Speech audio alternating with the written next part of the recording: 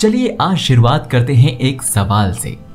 अगर मैं आपसे पूछूँ कि जेंडर कितने होते हैं तो आपका जवाब क्या होगा? नॉर्मली मेल और फीमेल लेकिन असल में ये जेंडर का बहुत सीमित दायरा है। अब मैं आपसे कहूँ कि जब आप कोई फॉर्म भरते हैं या अपने बारे में जानकारियों को लिखते समय जेंडर वाले खाने में आपको कितने ऑप्शन दिए जाते हैं, तब आपका जवाब होगा मेल फीमेल और अदर्स आप सुन रहे हैं अनबाउंड स्क्रिप्ट और आज हम आपको इसी अदर्स में डाल दिए जाने वाले जेंडर्स पर चर्चा करने वाले हैं, जो असल में सिर्फ़ अदर्स नहीं है, बल्कि हमारे और आपकी ही तरह उनकी भी पहचान है। अक्सर जब हम जेंडर शब्द सुनते हैं तो मेल और फीमेल तक ही सिमट कर रह जाते हैं। लेकिन असल में जेंडर सिर्फ़ मेल और फीमेल की बाइनरी तक सीमित नहीं है, बल्कि इसका एक पूरा स्पेक्ट्रम है और इसी स्पेक्ट्रम में आता है एलजीबीटीक्यू कम्युनिटी। जी हाँ वही समुदाय जिसका ज़िक्र हमारे जेंडर की परिभाषा से गायब होता है। उन्हें ऐसे देखा जाता है मानो वो किसी दूसरी दुनिया से आए हों। उनके साथ ऐसा बर्ताव किया जाता है मानो उन्होंने कोई बड़ी गलती कर दी हो।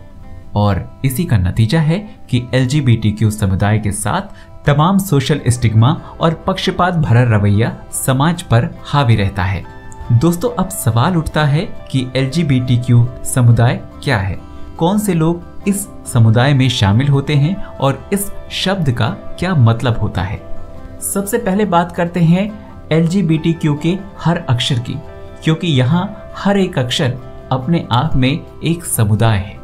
जैसे L lesbian G gay B bisexual T transgender Q queer इस तरह हर एक अक्षर अलग अलग समुदाय को दिखाता है, जिन्हें एक साथ एलजीबीटीक्यू कम्युनिटी कहा जाता है। इसी एल समुदाय को समलैंगिक समुदाय भी कहा जाता है।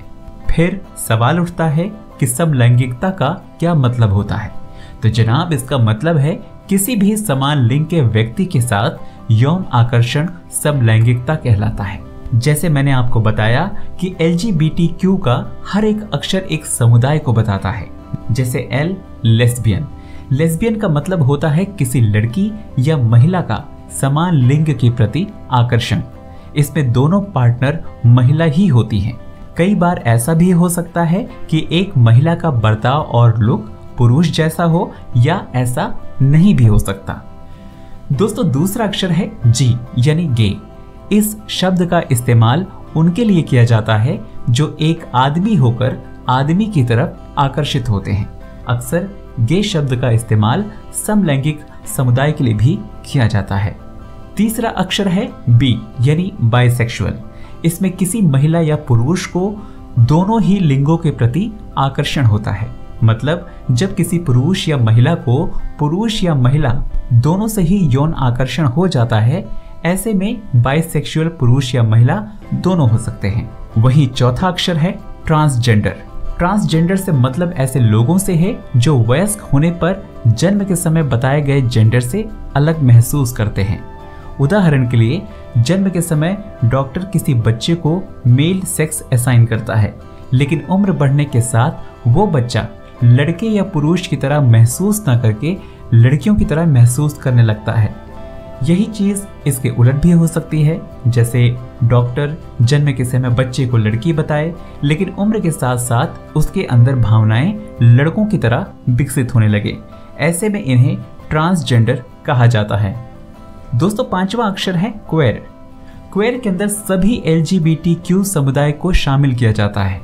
इसे ऐसा समझा जा सकता है कि जो भी इंसान न अपनी पहचान तय कर पाए और न ही अपनी शारीरिक चाहत, यानी वो खुद को न पुरुष, न महिला या ट्रांसजेंडर मानते हैं और न ही लेस्बियन, गे या बाइसेक्सुअल तो उन्हें ही क्वेर कहा जाता है।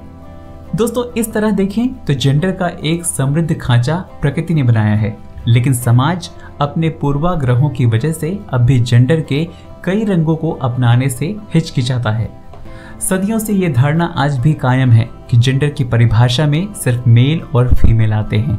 इसीलिए ज़रूरी है कि हम और हमारी आगे की पीढ़ियों को इस आधे सच और आधे झूठ के फेर में ना पड़ने दें, बल्कि उनकी जगह तार्किक और वैज्ञानिक बातों को ही अपनी राय बनाने का आधार बनाएँ।